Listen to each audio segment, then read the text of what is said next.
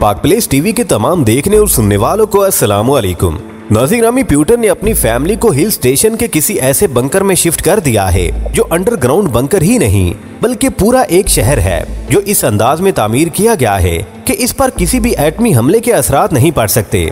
इस खबर के सुनने के बाद अमेरिका हिल कर रह गया है और प्यूटन के इस इरादे का इसको पता चल गया है कि प्यूटन किस हद तक जा सकता है।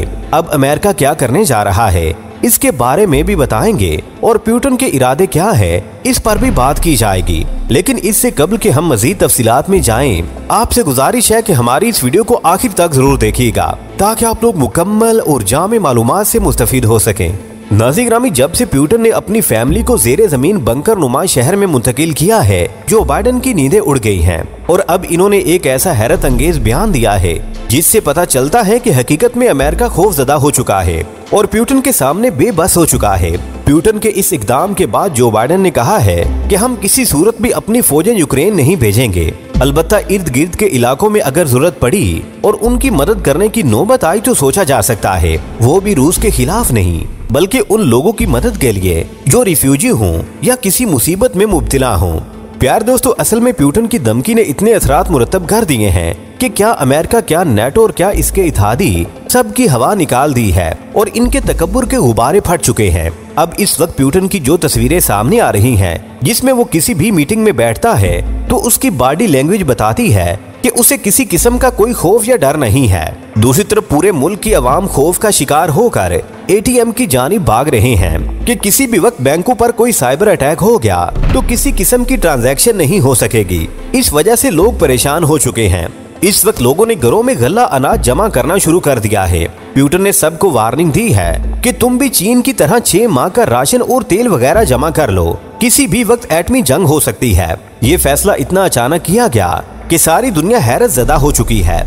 दूसरी तरफ़ यूरोप को भी खतरा है कि प्यूटन आखिरी हदूद को छूने जा रहा है और अमेरिका भी यही खबरें दे रहा है कि प्यूटन ने एटमी अटैक करना है। लेकिन कब करना है, इसके बारे में ताहाल कोई खबर नहीं दी जा रही। लेकिन इरादे बहरहाल प्यूटन के खतरनाक दिखाई दे रहे हैं। इसने वार्निंग दी हुई है कि क्या अमेरिका क्या यूरोप किसी को नहीं छोड़ूँगा। जो इस जंग में इसके खिलाफ उठेगा, उसके खिलाफ एक्शन किया जाएगा। इसके बाद जो हाइपरसोनिक मिसाइल हैं, वो अमेरिका के परक्षे उड़ा सकते हैं और वो यूरोप, फ्रांस और जर्मनी को भी हिला सकते हैं।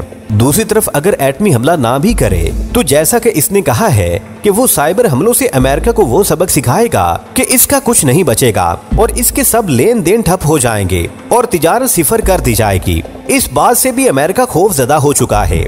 एक तरफ़ प्यूटन है जिसकी बॉडी लैंग्वेज बता रही है कि इसे कुछ भी खौफ नहीं है। और दूसरी तरफ़ जो बाइडन है, जिसके चेहरे पर 12 बजे हुए हैं और इसकी हवाइयाँ उड़ी हुई हैं। नाजिग्रामी दूसरी तरफ़ भारत की बात करें तो भारतीय फौज के एक जर्नैल ने यह भी कहा है कि जहाँ तक मैंने गौर किया है कि प्यूटन मरता मर जाएगा, पीछे नहीं हटेगा। इसलिए कि इसकी फितरत में ही पीछे हटना नहीं है। अब यूके ने जो नया काम किया है कि बेलारूस के ऊपर भी पाबंदियाँ लगा दी हैं। इसकी वजह यह है कि इन सबको पता है कि रूस ने एक्शन ले लेना है और किसी को नहीं छोड़ना जहाँ तक रूस पर लगाई जाने वाली पाबंदियों का सवाल है तो चीन ने भी इसकी मजम्मत की है और कहा है कि यूरोप और अमेरिका जंग को मजीद भड़काने के लिए इस किस्म के हरबे इस्तेमाल कर रहे हैं और साथ ही चीन ने रूस के साथ इतिहाद का ऐलान भी कर दिया है कि अगर रूस पर हमला होता है तो चीन रूस का साथ देगा और भरपूर साथ देगा नाजिक दूसरी तरफ़ पाकिस्तान का ज़िक्र किया जाए तो पाकिस्तान के खिलाफ भी एक मुहिम की जा रही है। वो ये है कि यूरोप ने ऐलान किया है कि जो रूस का साथ देगा, उस पर पाबंदियाँ लगाई जाएँगी। दूसरे लफ्जों में पाकिस्तान को कहा जा रहा है कि तुम रूस के साथ ताउन से अलग हो जाओ, और अगर इसका साथ देने की कोशिश की तो तुम पर भी पाबंदियाँ लगाई जाएँगी। ये पैगाम पाकिस्तान को दिया गया है। अब पाकिस्तान इसका क्या जवाब देता है, ये तो वक्त ही बताएगा। प्यारे दोस्तों, आज की वीडियो में बस इतना ही। हमें आज भी पूरी उम्मीद है कि आज की ये वीडियो भी आपकी मालूम में इजाफे का बायस बनी होगी। वीडियो पसंद आने की सूरत में इसे लाइक कीजिए, दोस्तों से शेयर कीजिए और कमेंट सेक्शन में हमें अपनी कीमती राय से ज़रूर आगा रखिएगा। अल्लाह निगेबान।